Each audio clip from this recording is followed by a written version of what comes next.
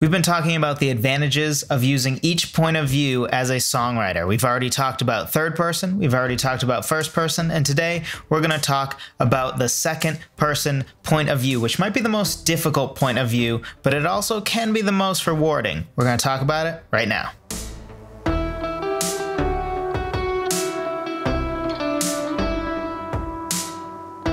Hello, friend. Welcome to another episode of Songwriter Theory. Today, we, of course, are talking about second person point of view. We're going in order from least intimate, most objective, to most intimate and least objective. This is the third of four.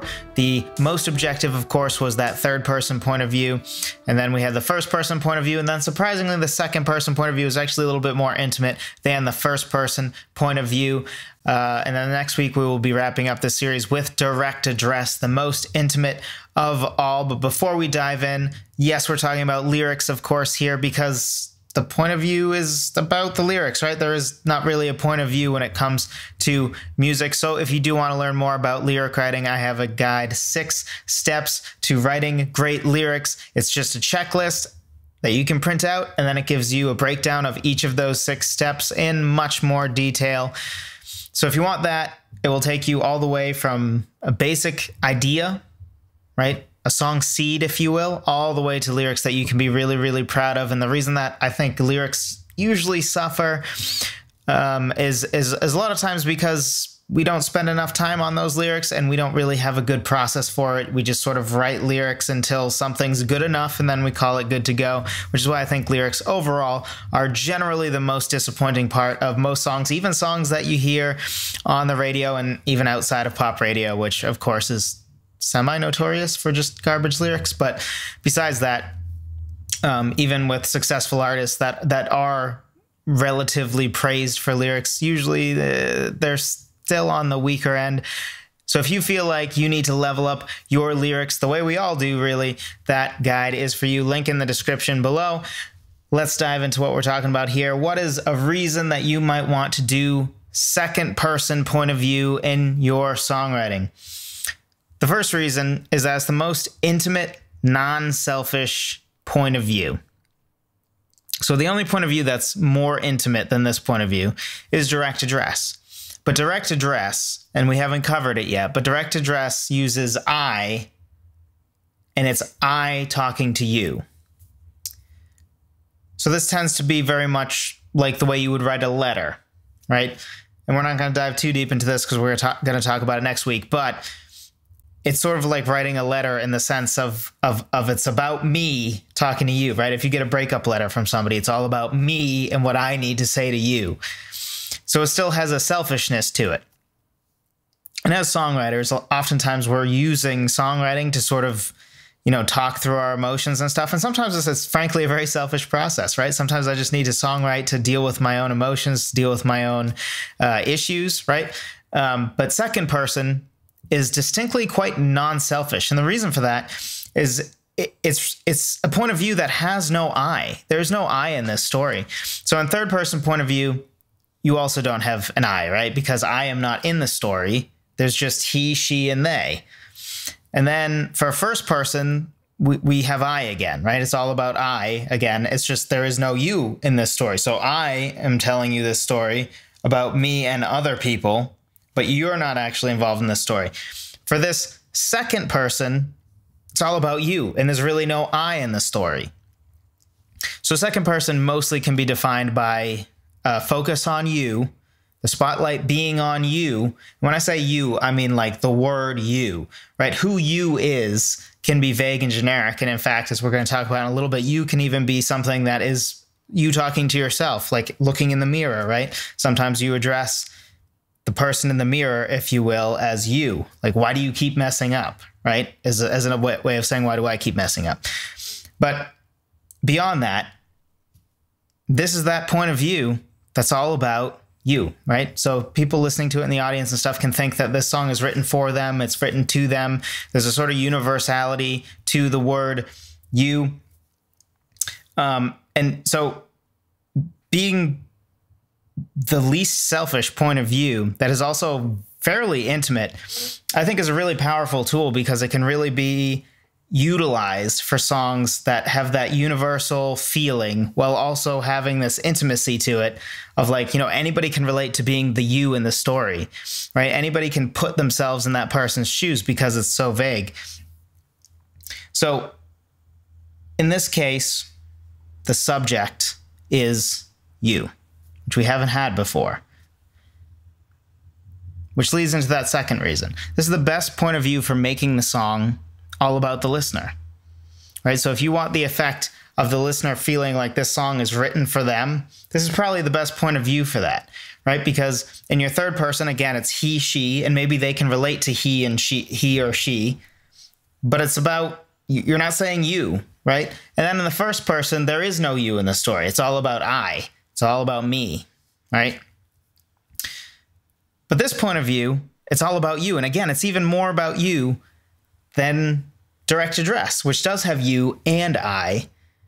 But the spotlight usually is on I, and it might be about you, but generally because I'm in the story, there's a there's an inherent selfishness to it, right? Like you broke up with me. Oh, what's wrong with you, right? Like that you're the subject of that sentence, but let's be honest, it's really about me still.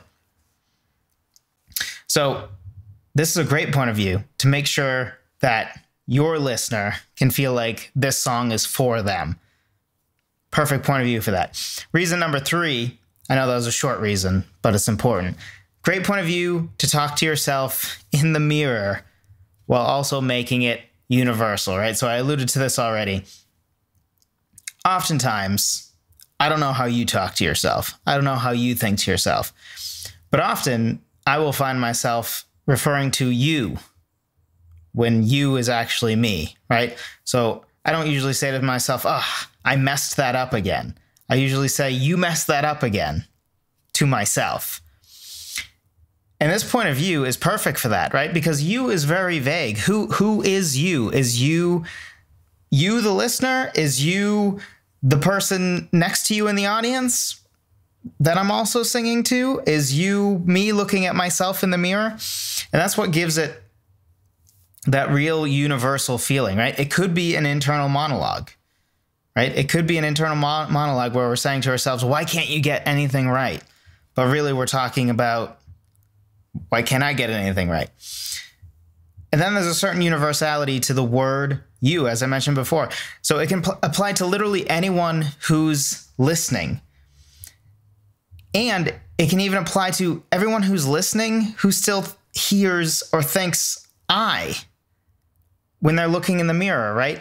Because if if the whole song is about why do you mess everything up, there's actually two ways that people can relate to that. One is like me talking to you, so it's about you, or it's you putting yourself in the position of the singer looking in the mirror saying why do you mess everything up right because oftentimes in a song it's very common for somebody to put themselves either in the singer's shoes, right? Especially if they're singing along with the song, right?